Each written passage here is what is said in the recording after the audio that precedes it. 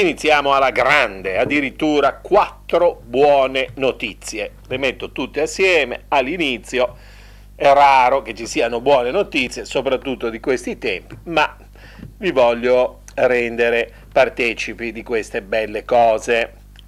Vi ricordate la settimana scorsa che ci avevo dato giù duro, veramente duro, per quelle biciclette legate al palo, all'angolo, via Chiavari, via Nazario Sauro, via Salietti. Ecco, pensate, mi hanno riferito che la stessa notte, nella notte tra mercoledì e giovedì, quelle biciclette d'incanto sono sparite, scomparse. Due possibilità allora. Una, che i proprietari, vi ricordate ero stato molto severo, direi quasi offensivo, io non so assolutamente chi siano queste persone, però chiudevano la strada, ecco, mi era successo di passare spingendo la carrozzina di, eh, con il mio amico e non, non, non, potevamo passare perché due biciclette legate a... Ecco, la notte stessa sparite.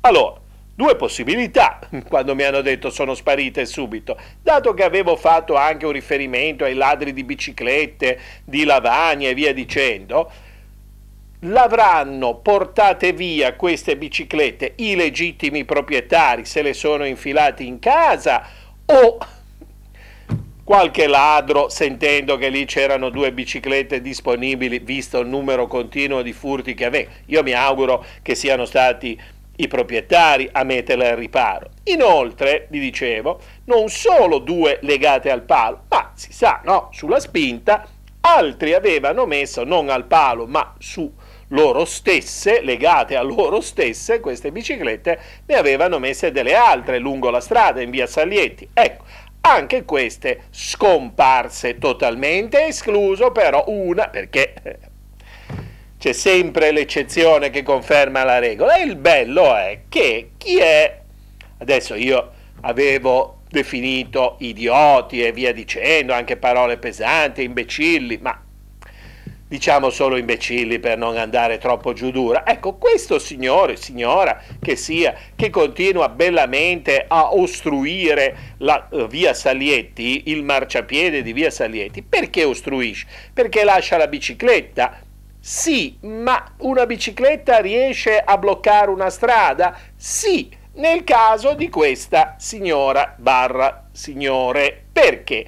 Perché il su indicato cosa ha montato davanti alla sua bicicletta un cesto, sapete quelli grandi tipo da panettiere, ma non è quello da panettiere, è un cesto da lavoro bello, con la farina, sudato, proletario. No, quello è un cesto di un certo livello, da liceo classico, non so come definirlo, e anche eh, foderato con eh, fine tessuto. Ecco, adesso mi sembra il caso che questa persona risavisca, cioè non può bloccare una strada una persona che sbatte lì una bicicletta con davanti un cesto che è più largo della stessa strada. Certo che gli farà piacere portare dentro non so che cosa, tre gemelli ci può mettere dentro questo cesto da tanto che è grande, però ci vuole anche un po' di rispetto del prossimo. Si può chiudere una strada perché uno deve portare tre gemelli a spasso dentro il cesto finemente lavorato. Quindi buona la notizia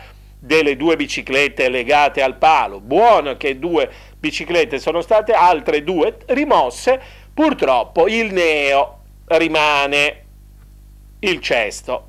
Togliamo, signora, signore, chiunque esso sia, so, un po' di buona volontà. Eh, capisco che è difficile posteggiare uno strumento di, di, di, questa grandezza, di questo ingombro, però ci vuole anche un po' di educazione, di rispetto del prossimo. Eh? C'è tanta gente che i gemelli, anziché portarli dentro una cesta, li porta dentro una carrozzina e quindi di lì non passa. C'è chi ha delle malattie gravi, non può più camminare, gira su una sedia a rotella e di lì non può più camminare perché deve mettere la signora, il signore, la sua bici con il cesto a tre piazze.